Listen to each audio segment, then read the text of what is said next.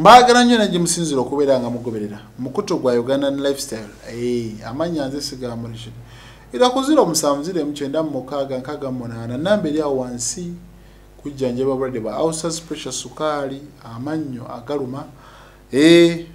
Tujja beera nga eddagala noba bwereweggwa nga tuli kutuusaako. Nsonga za bwenzi. Munnange omwami amanyikiddwa nga akasozi amannya tetugenda kugamalayo gatuukiriza ah, n'ag'omukyala olw'ensonga ezitali zimu naye ensonga za bwenzi. Munnange abadde yawasa omukyala era nga bakabeera bonna emyezi musanvu. Kati mu myezi egyo omusanvu musajja wattu yabadde alina ddiiru gy'agenda okukutula. Wakati mu lugendo ng'agenda okutula ddiiru anaafunamu obuzibuzibu kwe kusalawo okudda ewaka. Mu kudda ewaka obadde bwadde bugenderedde ndowooza zidde zibe zisaawa nnya zekiro ne mu kutuuka agenda okulaba nga byalaba tabitegeera.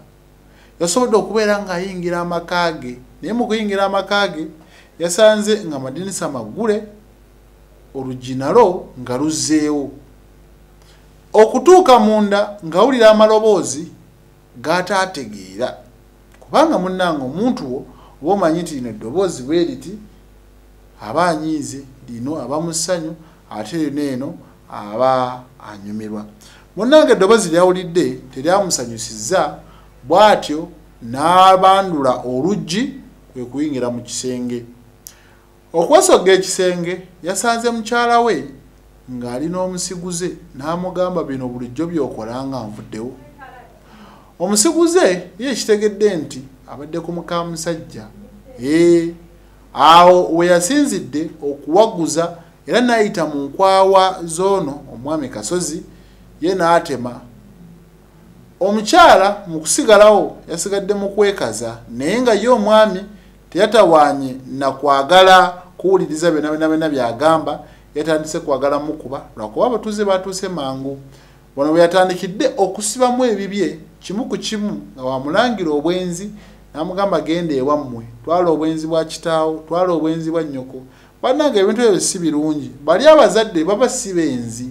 Ono yaba omwenzi wakimubeera mu bibateekamu munnange mu kufuluma yakuttemu ebibye n'agenda nga bw'agamba kale kaŋŋende naye kye mbadde nkikozeeko kalumu mbadde si nti buli lunaku nkikola nsonyiwa ate era nsaasira.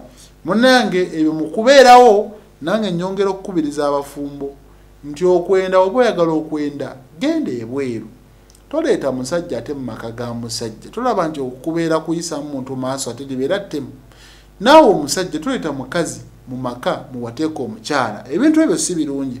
Banange mubyegendereze. Kati mulabire ku abo ne ku mboozi eno. Nze segoba mulishide